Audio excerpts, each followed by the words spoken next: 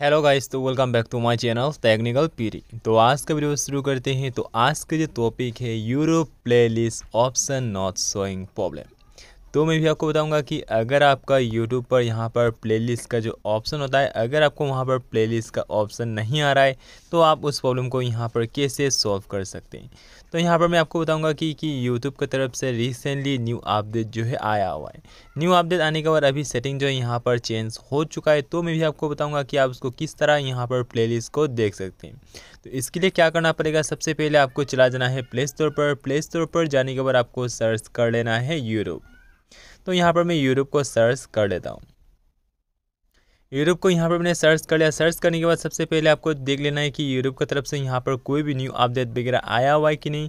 अगर यूट्यूब की तरफ़ से कोई भी न्यू अपडेट वगैरह आया हुआ है तो आपको अपडेट कर लेना है, क्योंकि न्यू अपडेट पर ये फीचर जो अभी यहाँ पर एड ऑन कर दिया गया है, ठीक है? अपडेट करने के बाद फ़ोन को एक बार रिस्टार्ट करने के बाद आपको यूरोप को ओपन कर लेना है। तो यहाँ पर मैंने यूट्यूब को ओपन कर लिया। यूट्यूब को ओपन करने के बाद आप देख सकते हैं यहाँ पर बहुत सारा नीचे पर ऑप्शन वगैरह दिया हुआ है, ठीक है? तो नीचे पर भी अभी सेटिंग जो है यहाँ पर पूरी तरीके से चेंज हो चुका है। तो अभी आपको क्या करना है? राइट साइड सबसे नीचे पर आपको यहाँ पर जो यू का जो ऑप्शन दिया हुआ है, आपको यू को क्लिक कर लेना है। यू को यहाँ पर क्लिक करना है। यू को क्लिक करते आप देख सकते हैं यहाँ पर बहुत सारा ऑप्शंस वगैरह आ चुका है। तो अभी आपको यहाँ पर व्यू ऑल का जो ऑप्शन दिया हुआ है, आपको व्यू ऑल को क्लिक कर लेना है। व्यू ऑल को क्लिक करते ही आपका प्लेलिस्ट जो है यहाँ पर मिल जाएगा। आप देख सकते हैं यहाँ पर प्लेलिस्ट आपने जितना भी प्लेलिस्ट वगैरह क्रिएट करके रखा हुआ है, सभी प्लेलिस्ट जो है कुछ इस तरह से ओपन हो जाएगा।